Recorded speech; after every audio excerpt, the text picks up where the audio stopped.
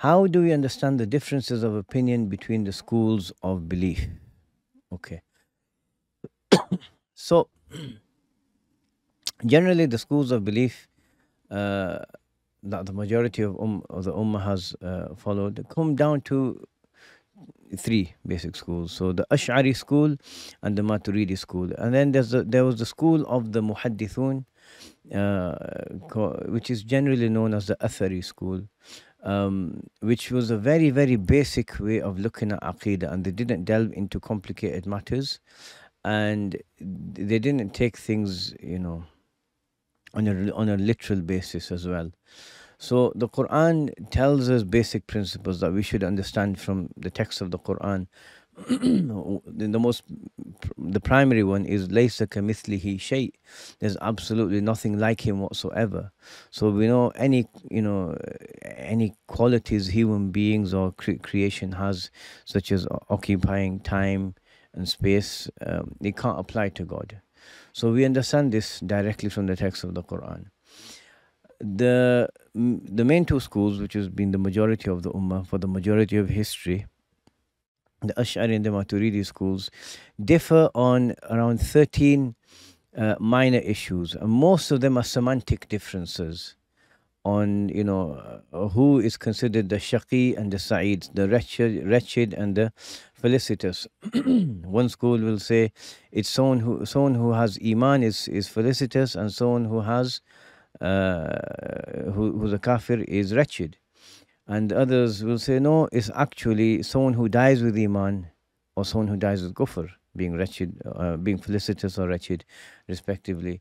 And but the first group also conditions, okay, if you live with Iman, but you have to die with Iman as well.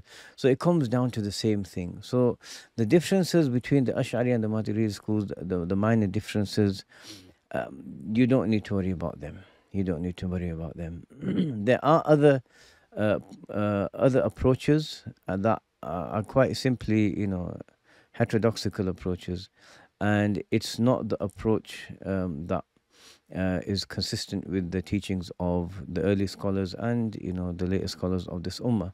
So, I mean, the simple simple approach is learn your aqidah, study a text like the Sanusiya, the Jawharat al-Tawheed, uh, Imam uh, Ahmad al-Dardir, uh, Al-Kharidat al-Bahiyya, um, even uh, the Aqidah of Imam Abu Ja'far al-Tahawi, and learn what these great figures of the Ummah that everyone after them has, um, sorry, uh, many after them uh, of the Ummah have agreed upon their righteousness and their soundness of understanding. So take that and know your iman, know your belief, know why you believe, know what you base it on, study it well, and then don't don't get into these discussions. You see people constantly get into getting into arguments and fights online and every once in a while. And you'll notice there are times of the year, like this time of the year, there's constant debates on bid'ah on what the Mawlid is, and go do something productive with your life. Even if you don't just celebrate the Mawlid, it's better than arguing about the deen. The Prophet wasallam guaranteed a place in, in the middle of paradise for someone who stops arguing. Ola numari fi dinillah, Imam Abu Ja'far, Abu Ja'far al-Tahawi uh, says in his Aqidah, we don't argue about the religion of Allah. So in the religion of Allah was not taught to us by the Messenger sallallahu alaihi wasallam for people to go argue about it on social media platforms. Um, so just don't worry about those differences, right?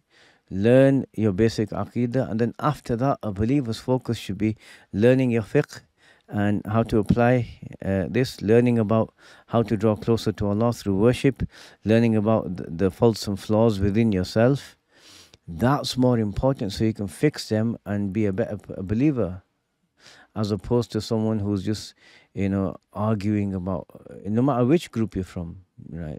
Someone who someone who's an ash'ari who's arguing with someone else about x y and z. If you're not a trained scholar in a scholarly setting or through writing you know written for uh, particular individuals then why are you doing this you know?